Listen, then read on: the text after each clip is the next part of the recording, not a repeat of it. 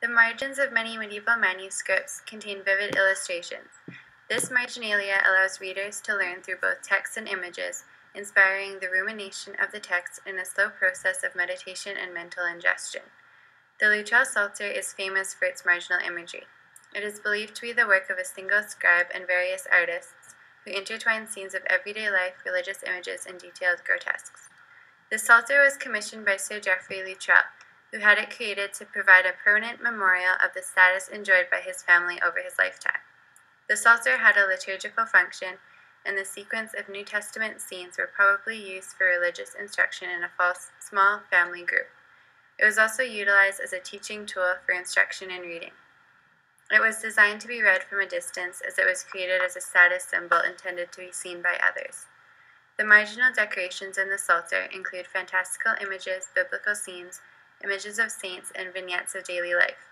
These vignettes of everyday routines accurately record activities that would have been commonplace on the Luttrell estates, including tilling the earth, sowing seeds, butchering animals, and preparing banquets. There is a distinctive farming and fasting sequence which shows Luttrell's preoccupation with the protection of his family and estates. This detail of a farmer plowing his fields is included in a sequence of farming images located in the margins of the Psalms. Comical and crude hybrids are also visible in the margins, contrasting the spiritual text and creating tension between the desires of the body and the needs of the spirit. this detail is the Luttrell family at table. Sir Geoffrey sits in the center, accompanied by his wife, two sons, daughter in law, and two visiting Dominican friars. Many marginal illustrations in the Psalter include images of common household items, such as the serving utensils in this detail.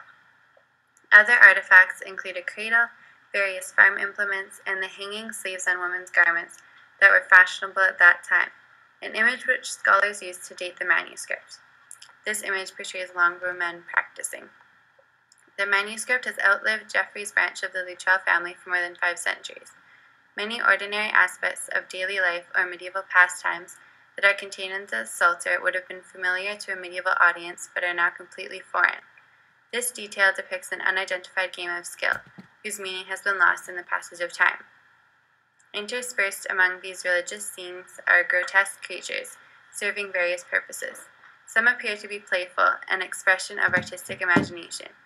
Others, such as this monster with a curved hooked beak and the striped body of a tiger, are symbolic. This creature appears beside an image of a boy stealing cherries from a tree while the frustrated farmer watches from below. The monster may serve a symbolic purpose, showing perhaps the dangers of thievery or else an embodiment of Satan's influence. This is a common theme, as marginal monsters often represent spiritual or physical dangers. Psalter does not contain acute, does contain acute observations of daily life recorded by the artist and glimpses into the life and philosophies of Geoffrey Luttrell in the 14th century world. The beasts of the medieval period were full of symbolism and meaning because people wanted to find divine presence everywhere. In the medieval mind, since God had created the animals, they were each symbolic in their own way, and this symbolism could be played with by combining animals together and getting monstrous, multi symbolic results. These combinations are commonly referred to as hybrids or grotesques. In marginalia, the meanings associated with these medieval beasties are used to either complement, mock, or add entertainment to the accompanying text. An important myth that adds to hybrid symbolism overall is the Tower of Babel. The collapse of the Tower of Babel symbolizes the shattering of unity, and lore often ties this moment to the creation of the grotesques. By, ex- by extension of this association, monsters are often seen as being symbols of chaos. In Deformed Discourse, David Williams said, like language, the monster is a sign of a unity now lost, and like language, the monster is the possibility of the reconstruction of the very thing that it itself has deconstructed. In exemplum of the symbolism of two animals combined, there is a hybrid made of a reptile and a bat. Reptiles, who were given a negative connotation by the snake in the biblical story of Adam and Eve, were, and still often are, seen as a sign of sin. Meanwhile, bats are creatures of the night. By throwing body of reptile and wing of bat onto the parchment together, two symbolic animals are mixed to create a symbolically terrifying monster, a dragon. In marginalia, dragons are often used to personify sin or the devil, as is exemplified by this image from the Luttrell Psalter. This image depicts a man being consumed by a dragon. A medieval audience would have seen this as him being consumed by sin or the devil, and the fact that the artist painted him well endowed suggests sins of lust. Sometimes the symbolism is not in the grotesques or animals themselves, but what they are wearing or the context they are put in. As symbols of disorder in society, sometimes grotesque clothes would likewise be chaotic or insulting to the church. This female monkey is showing the lining of her clothing, which was symbolic of wrongdoing. In the medieval period, prostitutes were punished for their sins by having to wear their clothes inside out. Similarly, this image, the, in this image, the blue person is representing the Scottish who were fighting who were fighting the British at the time the Luttrell Psalter was made. Insult is added to injury because they are depicted wearing a flying veil, the likes of which were condemned by the church as devil's sails. Likewise, this hybrid's buttons would have been seen as frivolous by some churchmen. Despite all of this fabulous symbolism, it is important to remember that sometimes these fabulous grotesques were just for fun or to make an old translated text more appealing to its new audience. This fabulous creature, for example, is completely bizarre and most likely just there to make the page more lively and colorful. However, hybrids were not always accepted in medieval culture without question. In the twelfth century, Bernard of Clairvaux asked, What excuse can there be for these ridiculous monstrosities in the cloisters where the monks do their reading? Extraordinary things, at once beautiful and ugly. His qualms were countered by St. Augustine, who asked if grotesques were descendants of Adam with souls, which would make them glorious symbols of God's omnipotence and give them every right to be in religious texts. No matter if they are symbolic or whimsical, these wonderful beasts reflect the medieval mind and imagination. They both literally and figuratively encompass the medieval world, which is magical in and of itself. Despite his cynical views, Bernard has one thing right. These beasts are extraordinary things. Marginalia for laughs. Any occasional peruser of medieval texts is no stranger to the wi- weird and wildly twisted, grotesque images that clutter the margins of psalters, Bibles, and other texts.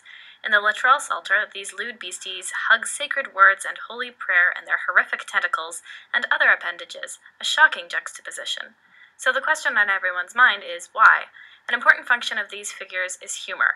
This humor takes two forms. The first is light-hearted com- commentary, rooted in folkloric and oral traditions. The second is heavy satire to demonize and dehumanize non-Christians. Cheeky grotesques adorn the lower and upper margins of the Luttrell Psalter.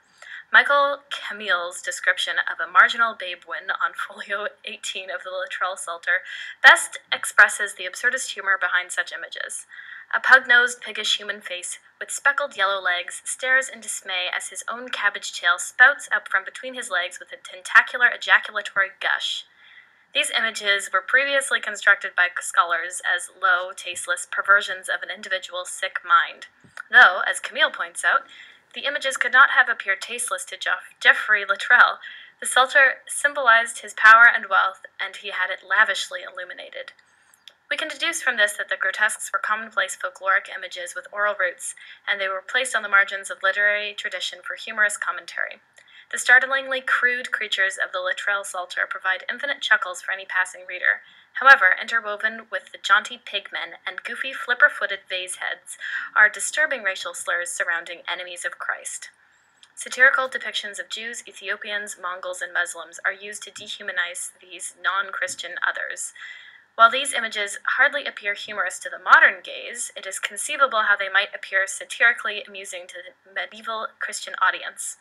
The image creators used satire as a tool to moralize. The stereotypical, largely constructed traits of Jews, Muslims, and Ethiopians are wildly exaggerated in marginalia. Jews possess hooked or crooked noses, which signify traits like voraciousness, lechery, and arrogance, traits associated with the devil while Ethiopians and Muslims are swathed in black and blue skin, a color the color black being symbolic of evil. A contemporary example of exaggerated depictions is political cartoons. Political and public figures are satirized and debased with the similar means of moralizing propaganda. For instance, compare a depiction of Richard the Lionheart facing off with Saladin, found in folio 82 of the Luttrell Psalter. Hook nosed, dark skinned Saladin, leader of the Muslim defensive during the Crusades, is rendered with distorted figures and fitch, ew, distorted features and rides a horse whose prominent buck teeth, Deborah Higgs Strickland says in her book Saracens, Demons, and Jews, gives the beast a look of incompetence, if not downright goofiness. A recent depiction of Olivia Chow, a Canadian politician, strikes up similar, similarities by projecting morality steeped in racism. Chow is depicted with exaggerated Asian features, slanted eyes, and yellow sk- yellowed skin. The humor of these satirical images, both contemporary and medieval, is not light. It's pejorative and discriminatory implications require unpacking. During the medieval ages, myth, folklore, and Christianity were rampant among the citizens, oftentimes equally valid or spoken about undividedly. Stories circulated to instruct moral conduct, and with these came the images of which marginal beasts were drawn from and associated. At the time, there was a great excitement regarding the world and travel, but with the exhilaration came a natural fear of the unknown. Creatures with animalistic and monstrous elements, described in texts as wild barbarian beasts, began appearing in the fringes of manuscripts, maps, and so forth, leading the way in visual demonstrations of a culture of varying ethics. Marginal creatures were fluid in form, giving no definite body to the threats of the unknown. This, in combination with humanoid features, reinforces the notion that demons are not only partially within the individuals deemed holy, but also always within the fringe of their physical existence. This constant watchfulness and presence maintains a hold on the people who spread both folklore and Christian teachings, which usually went hand in hand. Loyalties to the church, family, and keeping of faith were stressed principles.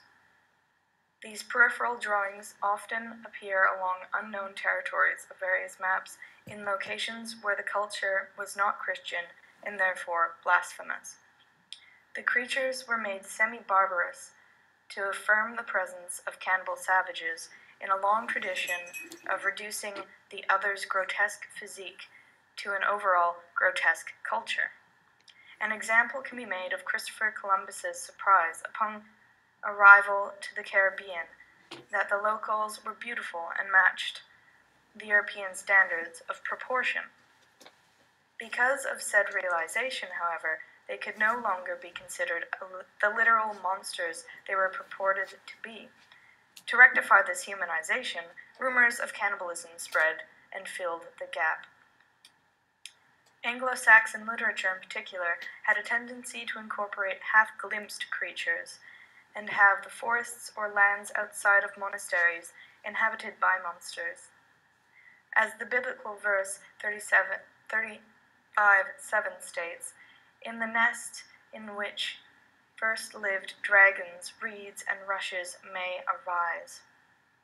This demonstrates the concept of a human hero battling satanic forces, evil, and moral liminality via nature, which is grounded and therefore not heavenly. South African races tended to merge into unified conglomerations of monstrosity, implying that normality rested in Europe solely. By lumping monsters together on these maps, the cre- creators established a diametric world where there is constant battle between Christian men and all else they deemed monsters. The marginal regions together form the antithesis of the holy center. This explains maps that focused around Jerusalem. Absurdly constructed circular maps focused upon geographic um, locations and monstrosity suggest European discomfort with its spirituality in emphasizing its religious division between Christian and pagan beliefs by othering. Marginal art is about the anxiety of nomination, and in the problem of signifying nothing in order to give birth to meaning at the center. The distorted human form of the two faced man from Marvels of the East establishes the embodiment of internal struggles and decision making, as well as miscegenation. The face on the left has a longer, more pronounced nose, alluding to the man of Jewish ancestry. To add, the horny caries implies a certain overindulgence.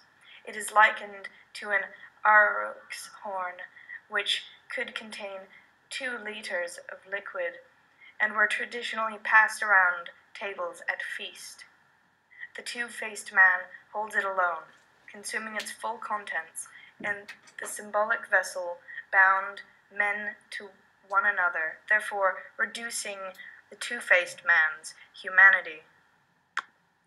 These creatures and illustrations that occupy the margins of the Luttrell Psalter serve many functions. The rural scenes are a useful tool for determining daily medieval life. Aside from being very humorous, the grotesques embody rich symbolic traditions and convey strong moral messages for the medieval reader. We would like to conclude our presentation with a grotesque of our own.